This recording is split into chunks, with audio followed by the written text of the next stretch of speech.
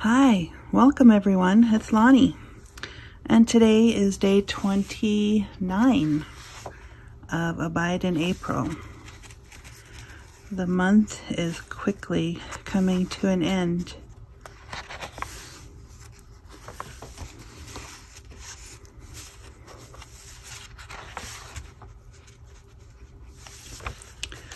So today's verse, well, the prompt for today was the word meditate.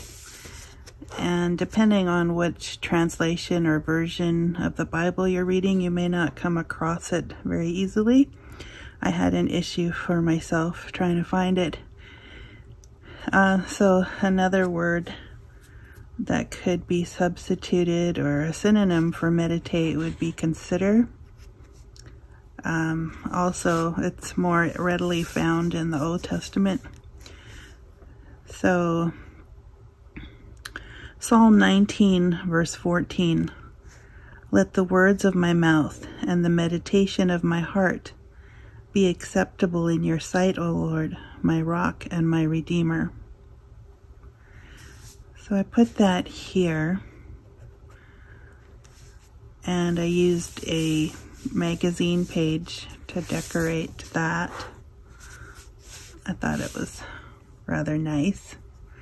Some lively colors there. So anyway, so then the larger portion, Hebrews 12, verse 1 to 3. And I didn't want to just take verse 3 because I thought we needed the context. So what I picked was the first three verses of chapter 12 of Hebrews. Therefore, since we have so great a cloud of witnesses surrounding us, let us also lay aside every encumbrance and the sin which so easily entangles us, and let us run with endurance the race that is set before us, fixing our eyes on Jesus, the author and perfecter of faith, who for the joy set before him endured the cross, despising the shame, and hath sat down at the right hand of the throne of God. For consider him who has endured such hostility by sinners against himself, so that you will not grow weary and lose heart.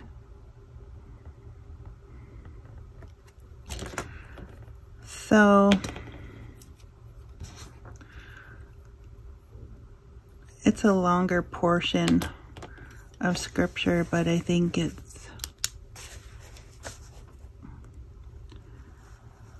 it's loaded full of nuggets if one decides to spend time there. I always thought the phrasing was interesting for the joy. For the joy set before him endured the cross. What was the joy that was set before him?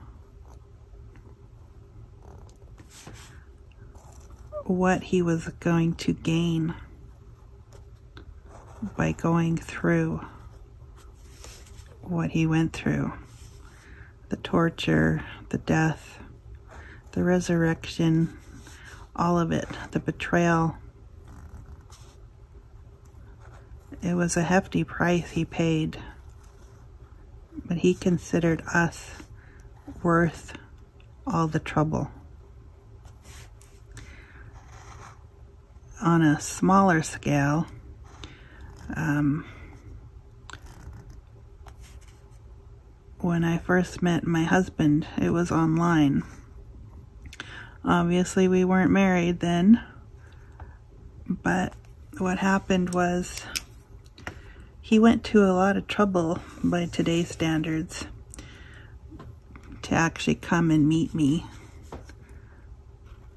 because I lived far away from where he was. Well, the next province. I lived in BC at the time and he lived in Alberta and it was a 14 hour drive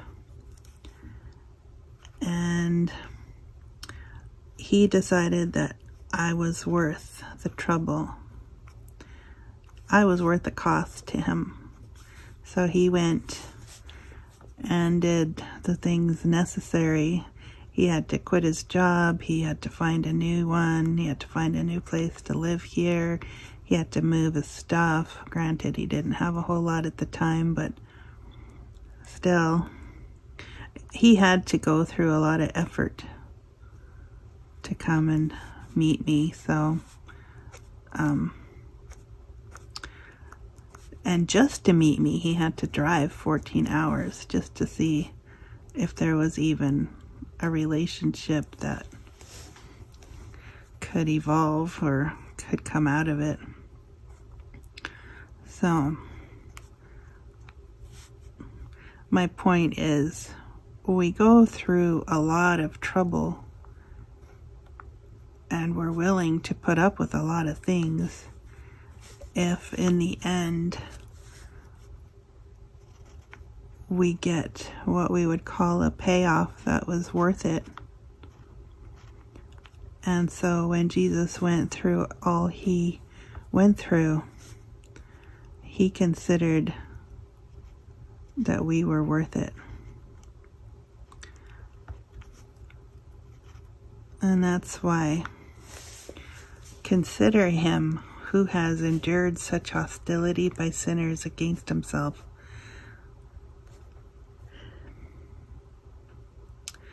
I mean, everyone was a sinner at that time except him.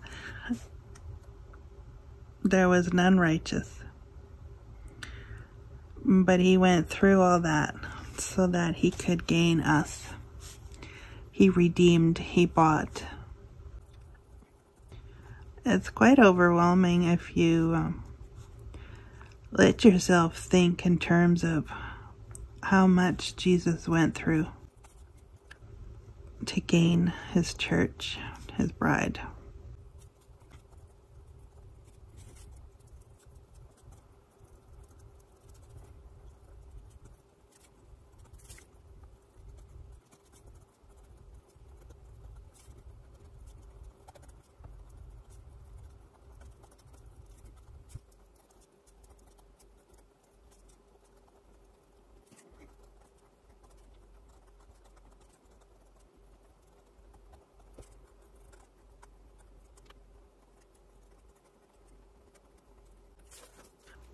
So that's a uh, lot of writing on that page, but that's okay. It's about the word.